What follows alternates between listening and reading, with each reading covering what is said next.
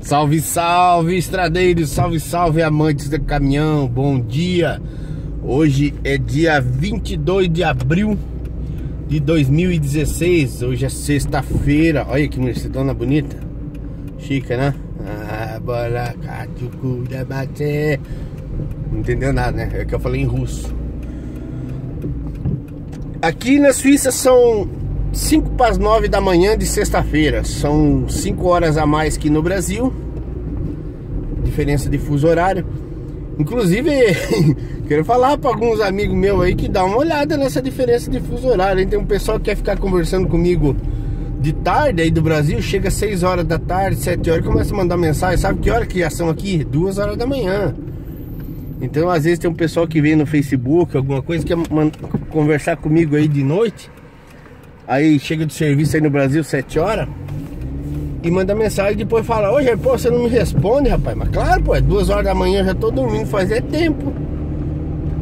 Então, tem essa diferença de fusos horários, viu? Tá um dia muito bonito hoje. Eu acho que eu resolvi o problema de reflexo No painel do carro. Vou ter um, um quebra-sol aqui em cima Vamos ver se vai aparecer reflexo. Eu acho que não, né? Galera, o pessoal tava zoando com a minha cara lá, deu na aula de, de, de francês.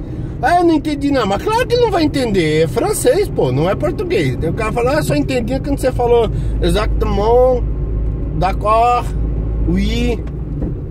É francês, não é português, que é óbvio que não vai entender, só vai entender quem é, sabe francês ou quem tem um pouco de noção.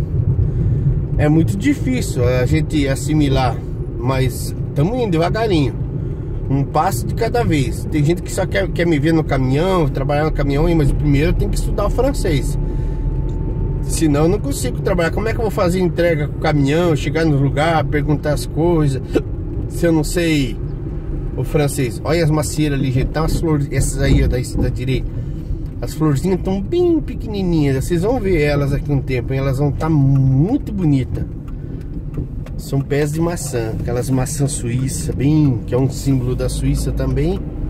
Mas tá muito bonito, hein? Hoje tá um dia maravilhoso.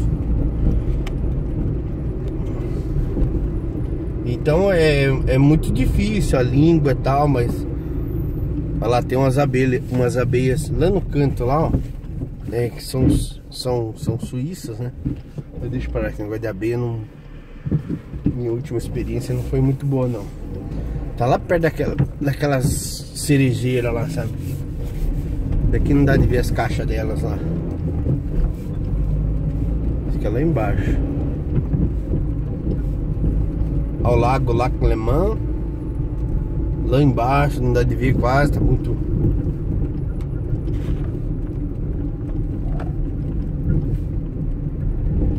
Vozinha bem estreitinha, viu? Olha esse cerejeiro aí, ó. São brancas. Acho que é cerejeira isso aí, viu? Tem as brancas, tem as... Ah, lá embaixo tem uma rua que tá muito bonita. Toda rosinha. Vamos ver se vai dar tempo de filmar até lá. Vou mostrar pra vocês aí.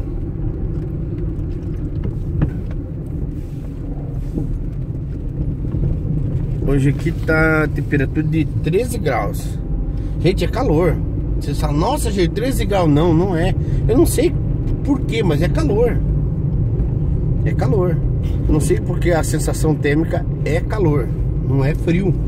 Aí no Brasil 13 graus é super frio, mas não, aqui é como se tivesse 22, 23 graus aí no Brasil. A sensação térmica assim, nesse exato momento. É calor, não é frio não. Se que fosse aí no Brasil 13 graus estaria frio, mas eu não sei porquê. Qual a diferença atmosférica do hemisfério, não sei o que, não sei o que. Então é, é, é calor. É, voltando a falar um pouco ali, que o pessoal falou daquele negócio do. de seguradora de, de carga. O menino perguntou lá, não lembro o nome mas eu li o comentário dele que ele perguntou, Jair, as seguradoras de carga, elas dão elas é, tem uma restrição maior quando o motorista é, é muito novo, é exatamente aquilo que eu falei, né? Olha essa energia. É, é como se você fosse comprar alguma coisa a crédito. Você acabou de entrar num emprego, tá com dois meses lá e você já quer fazer um financiamento de um carro. É óbvio que eles não vão dar. Não, peraí, esse cara não tem estabilidade nenhuma. A gente não sabe se ele vai ficar no emprego. E a seguradora é a mesma coisa. Você é novo, não pelo fator da idade, mas pelo fator de experiência no transporte. Se você é novo, eles vão é, dizer assim, não, é o cara é novo, mas ele já viajou muito, tem muita muita bagagem aí. Então ele não. Eles liberam a carga, entendeu? Agora se você for novo de carteira e. E pouca experiência, eles vão restringir. Eles vão restringir a carga sim para um limite pré-definido. 50, 60 mil francos, é, reais. E a pessoa vai ter que conquistar o crédito com eles, com a seguradora carrega, não dá problema, eles liberam um pouco mais e assim vai indo. A seguradora é um pé no saco. É como outro meu amigo ele falou, eles é, sempre pensam que você, caso haja um roubo, alguma coisa, eles acham que você foi o facilitador do roubo.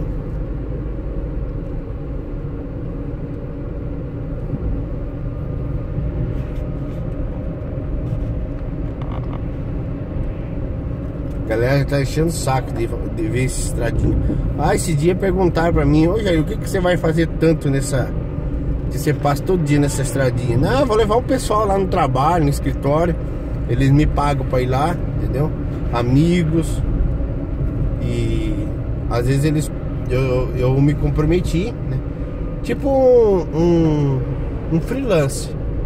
Eu pego lá, como não tenho nada para fazer durante o dia e para eles não ir todo dia de carro, eles pedem para mim, pagam para mim, um, põem gasolina e eu levo eles lá para cima, lá para os escritórios, onde tem a parte industrial lá. Vamos quatro, cinco às vezes. E às vezes vai só um. Às vezes eu vou sozinho. Vou buscar alguma coisa. Então, na maioria das vezes eu vou sozinho, ou com um ou dois.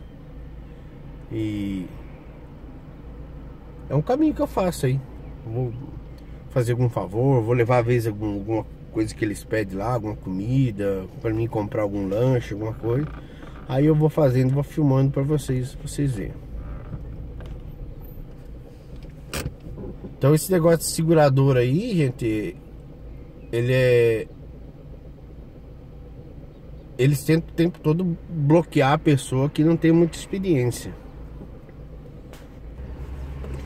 Então, galera, quando for fazer algum tipo de, de, de carregamento, alguma coisa, sempre é bom fazer uma prévia, consultar a Pancária, a Boni, a Psu, a Dutch. Tem umas, umas par de seguradora aí. E manter sempre eles atualizados. Eles têm que estar tá sempre sabendo o que está acontecendo com você para que você ponha tenha liberação da, na, nas cargas quando for carregar. A maioria hoje em dia das transportadoras trabalham com seguradora, então é praticamente impossível é, carga de transportadora você trabalhar sem seguro, né? Então a, a maioria embarca tem seguro. E a seguradora ela precisa de referências suas para que você liberar a carga de você. Na maioria, depois se você está um certo tempo dentro da empresa, por exemplo, é, você está lá já 6, 7 anos na empresa e a empresa mudou de seguradora. É, trabalhava com a, a, a PSU, mudou para Dutch ou para Boni Aí a empresa já, não, não, o motorista é antigo tal, você não tem o cadastro da OPSU, mas eles fazem o cadastro, especifica que você já trabalha muito tempo com eles, coisa e tal. A empresa faz parte de responsabilizar-se um pouco sobre você. Então tem esse, esse quesito também da, da responsabilidade de cada um, da, da empresa. Beleza, galerinha? Um abraço aí. Boa sexta-feira. Tudo de bom. Vamos procurar outro assunto aí.